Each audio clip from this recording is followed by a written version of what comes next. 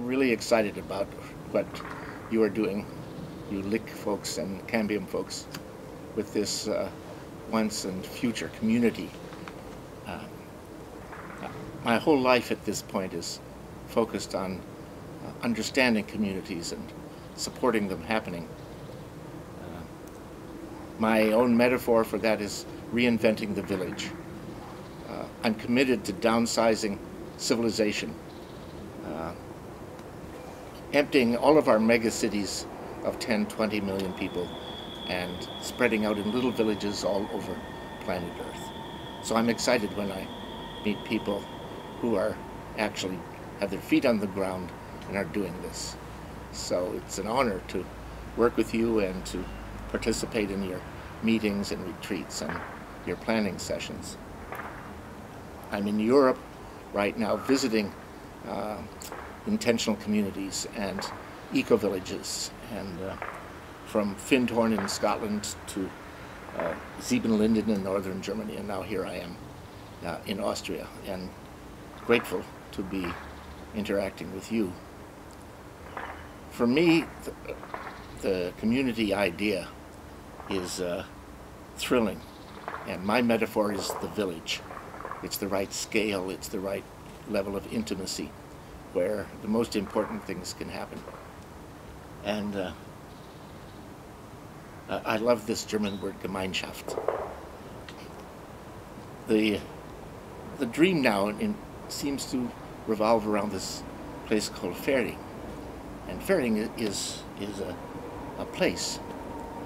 And then there are um, these uh, dreams of village ideas, maps, models. Um, and then there are uh, the structures that we're talking about. Uh, community building, decision-making processes, and so on.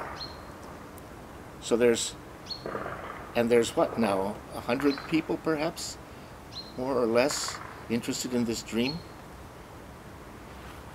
So there's a purpose for this, and there's people, and there's a place. But so far, leaking cambium are uh, bunches of folks, and Fehring is a place. And then there's this dream. Um, sometime, sometime soon, I would like to have a name that I can, you know, this community will have a name and uh, it'll be much easier to talk about it. Right now, I can talk about uh, this dream, the dream that you have. Fehring is not a Gemeinschaft. The dream is not a Gemeinschaft, it's a dream. But real communities are made up out of uh, relationships, lots and lots of relationships. And the point of entry for me, the acupuncture point, if you will, to enter into true community is the intimate relationships of the people in that community. Relationships between children and between uh, parents and children and between families and between lovers and between uh, bosses and employees.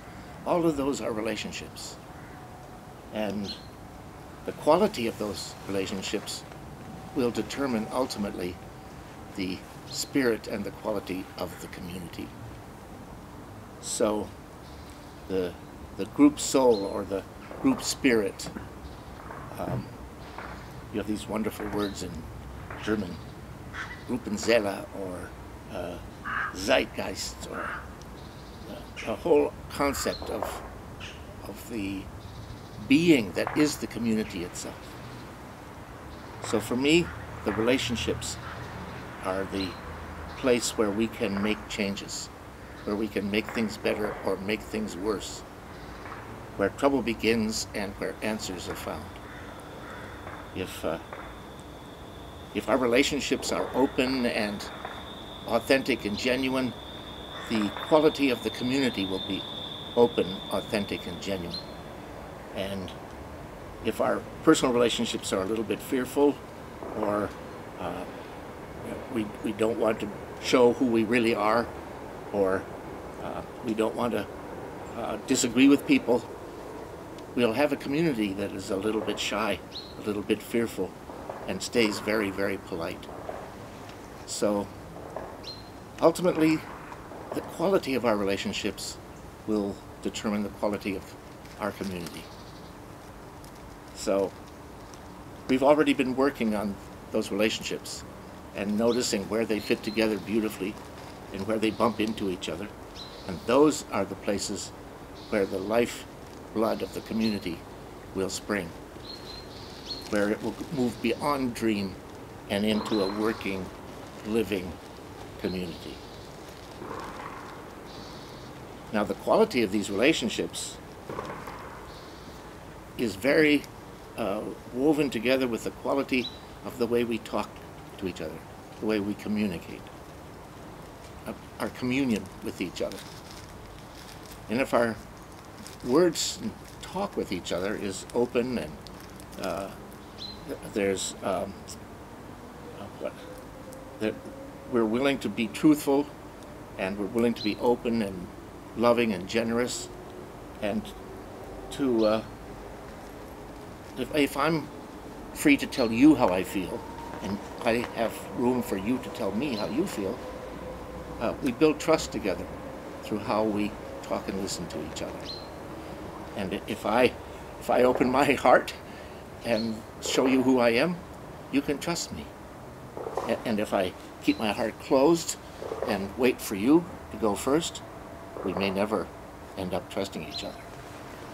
So these are the little ways in which how we are together will determine how that community is together and how that community uh, dances with the rest of the world and the other communities. And of course, the way I talk to you and the way you listen and the way you talk to me and I listen ha has everything to do with how, uh, if I've done my own inner work, my inner work of, of connecting my head and my heart and my body and, and my spirit, the four directions, if you know those wonderful maps, the, the medicine wheel maps, Jung's uh, quaternity. Carl Jung had four points on his map too when I bring my heart and my mind and my body and my spirit together, that's that results in a very high quality uh, communication.